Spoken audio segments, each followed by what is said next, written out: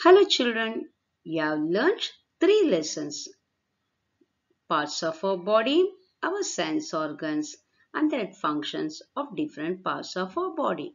Now today we are going to learn something different that is the similarities and the differences what you will be learning from the parts of our body. That is chapter 4. Children, we live in the huge society where n number of people live together. These people have all the bodies similar, but the differences in their color, shape and their height and weight. So this we are going to learn in this chapter that is similarities and the differences. Children, we all have same parts of our body and their functions are also same. For example, we see with our eyes, we hear with our ears, we smell with our nose, we speak with our mouth, we work with our hands and we walk with our legs. So this all the parts are same to everyone and their functions are also same. But their size, shape and their growth varies from one another. So this will we will be learning more about this in the next slide with the picture. Here children, we are going to learn about the skin color.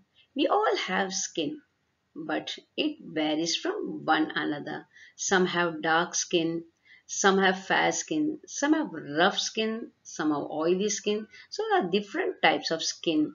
It varies from one another. Like skin, we also have different types of hair. At the same time, its colors also varies from one another. Some have brown hair, some have long hair, some have thick hair, some have white hairs, some are bushy, some are thin. So, this color also varies from one another. The growth of hair also varies from one another. Children, we learned about different types of skin and different colored skin. And also we learned about the different types of hair and their different colors. It all, both it varies from one another. Same way, the height and the weight also differs from one another. That is called as growth of a body. Every body differs from one another. Some may be tall, some may be short, some may be fat, some may be thin. It also varies. The body also varies from one another. Children all have nose and face. All are similar to everyone. But the nose and the face differs from one another. Some may be having the pointed nose, some may be having flat nose, some may be having round nose. At the same time, the face also differs from one another. That is a round, oval, square and etc. From the face, you can identify who they are. When you look to a person, you can identify with the shape and color. The same way, you can also identify a person with their eyes. Eyes also varies from one another. Some may be having black eyes, some may be having blue eyes, and some may be having brown eyes. This varies from one person to another. That is the difference in the eyes. In this lesson, we learned about the different types and the shapes of faces. We learned about the different types of hairs and the color. We also learned about the skin and their color. We also learned about the height and weight. It all varies from one another.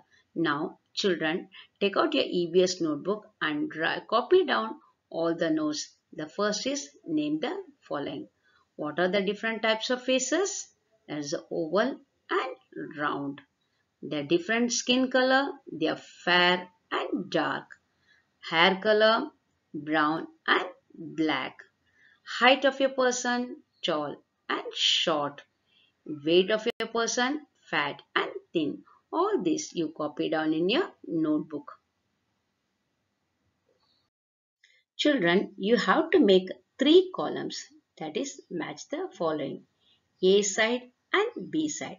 A side is the all the questions and B side the answers are jumbled. You have to match and write the answers in the answer column. That is A versus B with the answer column. The first one is the nose. How is the nose? The nose is flat. So in the first column, you have to write the answer sheet. You have to write the flat nose. Hair color, hair, how it is? Is a curly hair. The second answer is curly. The third one, eye. How is the eye? Blue color. So third one answer is blue. And similar. What is similar? Means same. Similar means same. Everybody is having same thing. That is the fingers. Fingers are same for all. So the fourth one is fingers. And the different. We have the different size. We have different shapes. So here the size is different.